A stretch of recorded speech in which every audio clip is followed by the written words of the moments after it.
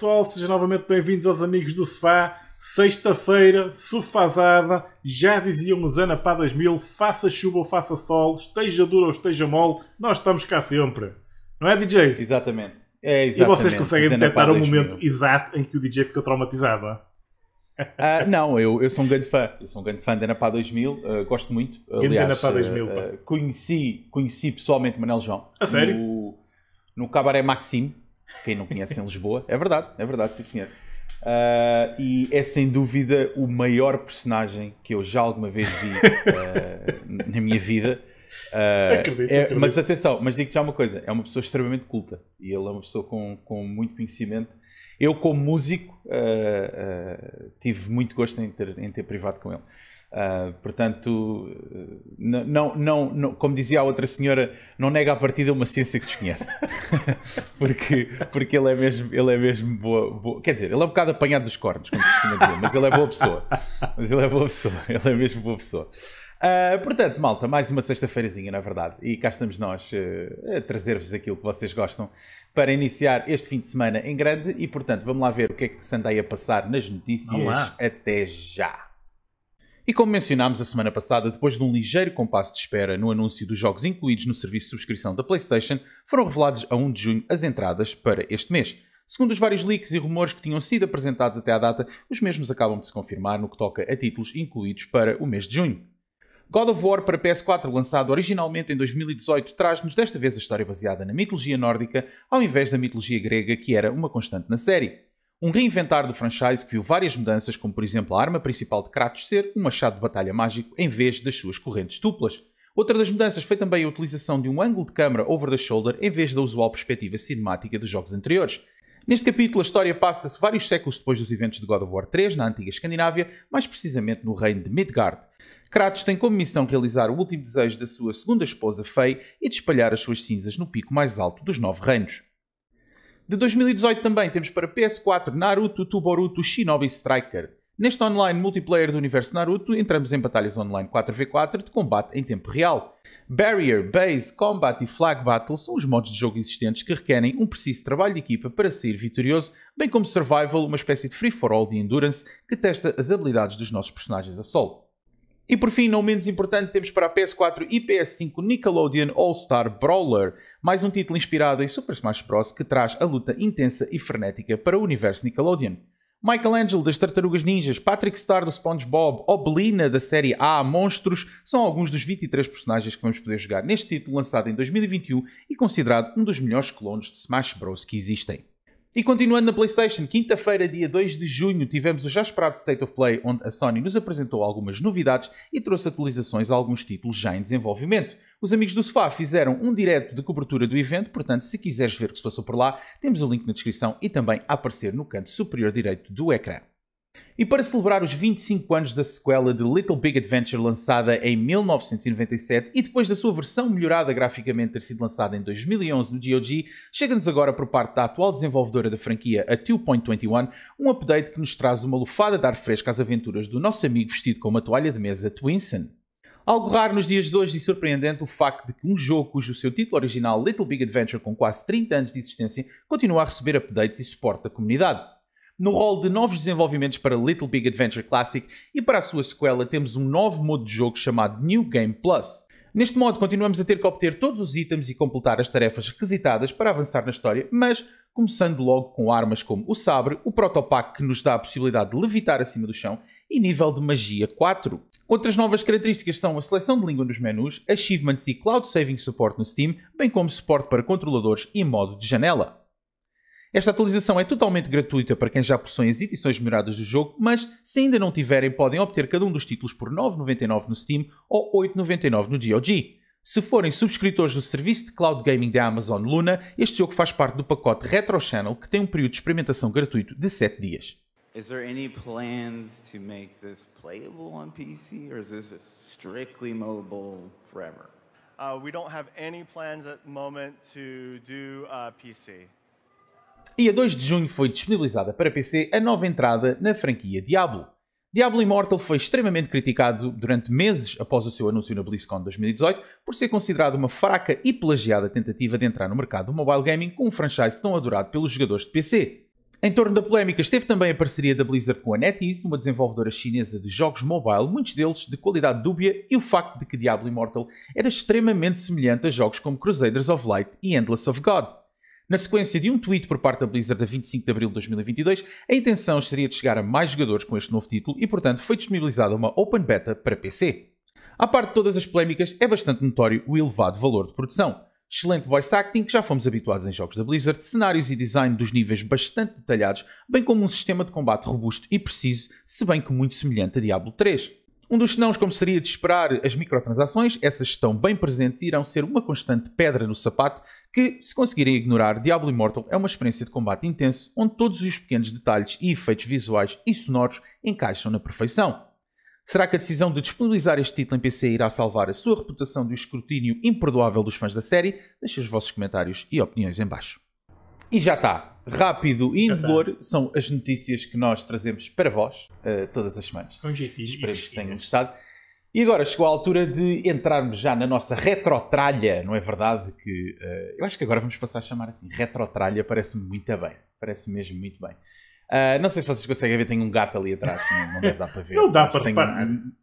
Não dá, tenho uma gata, na verdade, tenho uma gata ali em cima do meu computador de trabalho. Uh, não sei a fazer propriamente o quê, mas se Está a alguma coisa se trabalhar, está a deixar ali, trabalhar. se alguma coisa cair ali, uh, provavelmente vai, vai, vai, vai fazer barulho. No entanto, vamos lá então à nossa retrotralha. E vou começar já eu. E vou começar porquê? Porque, vou começar porquê? Não, vou começar uh, com um jogo que um, eu estava a ver um dos TikToks do RetroStu. Vai aparecer aí o, o, o linkzinho aí do, do canal dele em cima agora. Um, e ele recebeu este jogo na, na sua coleção através de um, de um amigo que lhe ofereceu. Uh, e era uma Big Box version daquele jogo. E, e foi daqueles jogos, mais uma vez, que foi preciso o estímulo visual para eu me lembrar daquele jogo, porque eu realmente havia uma razão para não me lembrar daquele jogo e pergunto a vocês qual é que é essa razão. É que o jogo não envelheceu assim muito bem, mas, mas, mas já lá vamos. Bem, o que é que eu estou a falar? Estamos a falar de Spirit of Speed 1937 de 1999. Isto foi desenvolvido pela Broadsword Interactive e publicado pela Hasbro. Ora, este jogo consiste em trazer toda a experiência e glamour dos desportos motorizados dos anos 30. Uh, desde o Alfa Romeo P3, que foi o primeiro veículo monolugar de corrida biturbo, Bugattis 35 e 39, o Mercedes-Benz W125 e 154, o leque de carros é bastante inclusivo, portanto já perceberam que estamos a falar de um jogo de, de um jogo de corridas, como devem estar a ver, já pelo que estamos a passar no trailer, né? Uh, no que toca a modos de jogo, temos os habituais single race, né? o Championship Season e o cenário. Single race é autoexplicativo, né? Uh, que é, é o single race, né? É uma simples corrida. Exatamente, uma simples corrida. No Championship Season temos que completar uma série de corridas em pistas conhecidíssimas, como por exemplo Monza em Itália, Donington no Reino Unido e Pau em França. Podia ser Pau em África, mas não. Em África temos uh, o circuito de Tripoli Isso é a pista mais rápida, porque tu ou andas depressa ou levas com pau. E levas com pau, exatamente. Depois temos o, o modo cenário, onde podíamos uh, reviver pontos de- históricos, neste caso das corridas motorizadas daquela altura, uh, e que era, era bastante interessante. Um, e isto é basicamente o jogo. É um, é um jogo que simula ali o estilo de arcadas de- de- de- das corridas, não é? Um, mas voltando àquele assunto que eu falei inicialmente, não ter envelhecido muito bem, a verdade é que eu, quando era mais jovem, não tinha assim um espírito tão crítico como hoje em dia. E acho que. é- é- eu acho que é mesmo a simplicidade de sermos crianças ou adolescentes. É, é essa não é que- nada disso. Tu tinhas o espírito papa tudo na altura, agora tens o espírito. É, estou a ficar velho. É, tal- talvez, mas isto acabava-se por notar neste jogo a forma como a gente via as coisas quando, quando éramos mais novos, não é verdade? Eu achava o jogo extremamente difícil quando o joguei, mas na verdade não era difícil, era, ele, era, ele era simplesmente mau. Pronto, o jogo não era difícil, o jogo era bem mau. Ah, portanto, ahm, o que é que acontece aqui? Ahm, apesar das físicas e das características dos carros terem influência na jogabilidade, como seria de esperar, né? Uh, são os controles e as mecânicas simplesmente, epá, por falta de melhor palavra, são abismais, literalmente.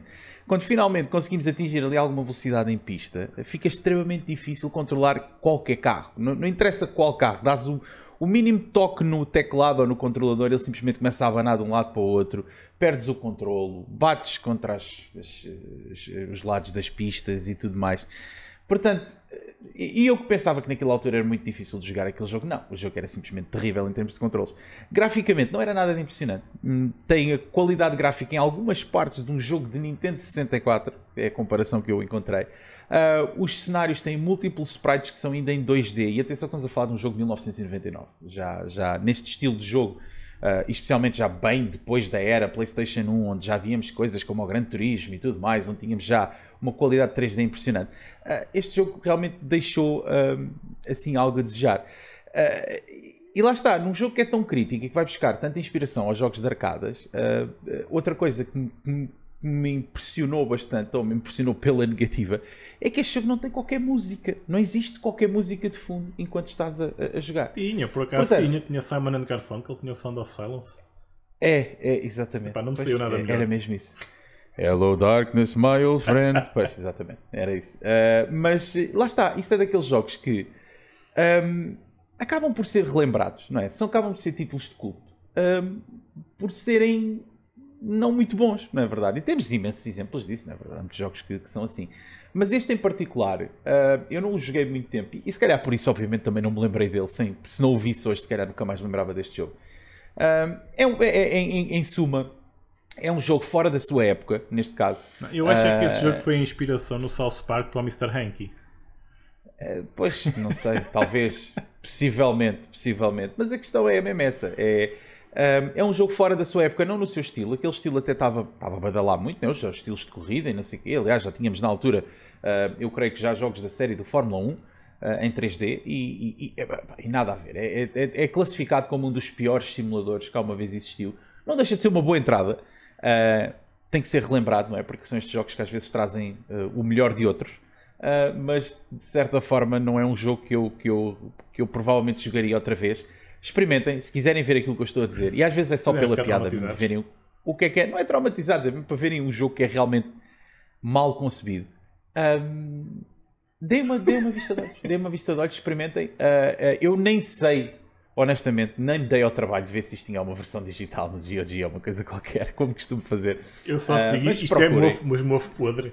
É, é, isto é mesmo, mas este este é mesmo daquele que cheira mesmo, cheira muito a Trazendo, mal. até tinha as larvas muito em cima.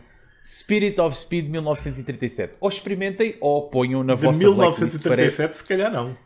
Não, não é de 1937, é de 1999, mas é Spirit of Speed 1937. Portanto, ponham na vossa lista para jogar ou então ponham na lista negra para nunca sequer chegarem perto deste jogo. Porque só há estas duas hipóteses, ou vocês jogam e experimentam ou não jogam. Ponham porque- ao lado do outro jogo que já lá está. Call Exato, home, exato. call home. Portanto, uh, vamos falar de coisas melhores. O que é que tens aí para nós esta semana uh, em termos de jogos? Que eu sei que tens aí uma coisa. Eu vou falar de alguma gira. coisa decente. Sim, de, de uma consola da, de 16 bits, na verdade. E não, do 8. É, da- é- é- é da SNES? Não, ah, não, da é da NES. Da é SNES da é todo É da NES.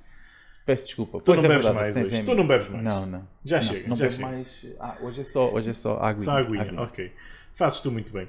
Olha, eu vou falar de um jogo da NES de 89 que está, curiosamente, na coletânea da Tecnos, para a Da Evercade, é o volume 10, que é o River City Ransom.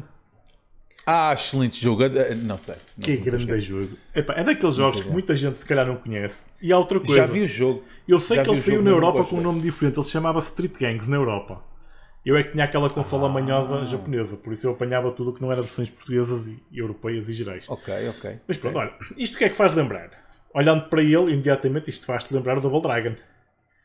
Pá, mas o que eu achava Aliás, piada neste jogo. Faz primeiro- lembrar qualquer jogo de plataformas beat 'em up, o Double Dragon. Não, né? este era muito peculiar. Porque este tinha algumas particularidades que mais nenhum jogo tinha. Este jogo passou ao lado de muita gente, porque eu às vezes falo com o pessoal, ninguém conhece isto. Isto era por Hum. porquê? Porque primeiro tinhas liberdade de movimentos, tu andavas para onde queres, aquilo era quase tipo sandbox. O Ah, que era bom. Mas tu tinhas que ir salvar a tua namorada do, do mal que estava no, no, outra, no outro liceu, que era o Slick. Tinhas que atravessar a cidade para ir salvar a tua Ah. namorada do Slick. Era Então esta a estamos tua aqui a missão. falar E de depois tinhas um inimigos conflito- que tinham nomes Exato. fabulosamente originais e bem pensados. Tinhas o Generic Dudes. Generic Dudes. É. Pois, então estamos a falar aqui daquele Guys, por exemplo. Era conf- conflito, conflito licial, não é Era, verdade? era Aquele por aí. estilo com... Mas Ok. agora, o que é que este jogo tinha de interessante? Primeiro, os bonecos, só de olhar para as imagens, eu ainda me ri só de olhar para estes bonecos, que estes bonecos tinham um ar parvo mesmo. Tinham um ar tosco, mas era, pá, o jogo era giro. E aquilo era, basicamente, andas ali a passear pela cidade a aviar cartucho, mas depois tinha elementos de RPG. Porque primeiro, tu andavas à vontade, e segundo, tu tinhas estatísticas dos teus personagens que tinhas que melhorar e os ataques tinhas que os aprender. Tu entravas em lojas e ias comprando as técnicas, ias compravas os para aprender as técnicas, depois tinhas outras situações em que entravas nas lojas que podias comprar. Mas o interessante nisto é que tu tinhas de ter ali alguma estratégia e pensar um bocado nas coisas, porque tu não conseguias chegar ao fim do, do jogo. E depois temos um gato em pose. Epá, calma, nós vamos ter que interromper isto, hein? isto é que é. É- é isto. Não sei se está para ver. É isto que se passa. Isto é que é amigos do sofá. É que nem é no sofá, é em cima da mesa. O sofá está ali, mas sofá para quê, não é? Tipo, tá- O tá- sofá é para nós. É aqui, cara. É uma gata, faz favor, atenção. Uma É uma gata, sim senhora. É Nós é aqui, ti- tivemos que interromper isto para isto. Teve que ser. Tivemos, sim, senhor. Vamos lá Mas pronto, voltar. Vamos lá voltar. River City Ransom. opá, o jogo era diferente por causa disto, porque tu tinhas que, acabar por melhorar os teus personagens. Tu não conseguias fazer o jogo sem entrar nas lojas e melhorar. E tu, para melhorar, precisavas de dinheiro. Dinheiro ganhavas como? Havia cartuchos lá fora aos outros que apareciam. Era isto. O jogo era só isto. Mas é, opá, era giro. Isto era giro jogado a dois. A dois é que isto era espetáculo. Eu gosto, eu gosto dessa temática. Gosto dessa temática licial dos generic dudes e tudo mais. Eh, acaba por ser um bocado Mas havia mais nomes, não é? é? que não me lembro do resto. Lembro-me do genérico Não, não, dos, acaba- dos frat dudes. Mas- Esse lembro. acaba por ser uma sátira, não é? A toda essa, essa temática de, de, de filmologia, digamos assim, ou de, digamos, de, de- de cinema, Sim, porque isto é muito nós típico. na altura, que era, sempre, que era sempre isso, não era? Era sempre aquela guerra entre os, os college boys ou os, os junior high boys e não sei quê. E Era. às vezes as girls também, Os, não é? os- os populares e os não populares. Exatamente, exatamente. Eu acho que acaba por ser uma sátira a isso. Olha, se não é, parece, mas eh, digo Epá, já o que é não fixe. joguei.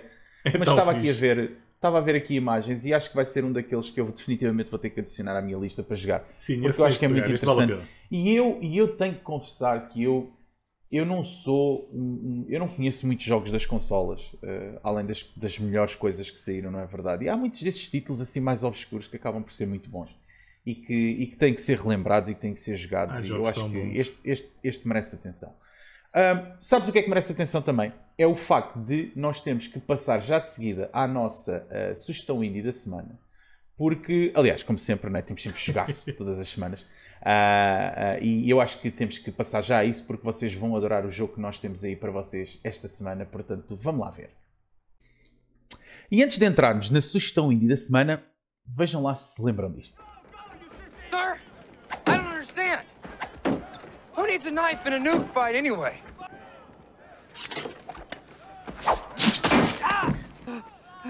The enemy cannot push a button if you disable his hand.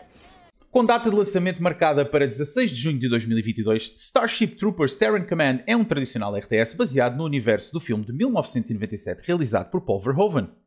À semelhança do filme, presente durante todo este jogo está a sátira política que foi algo que caracterizou esta produção de Hollywood e em muitas cutscenes poderemos ouvir a mítica frase Would you like to know more?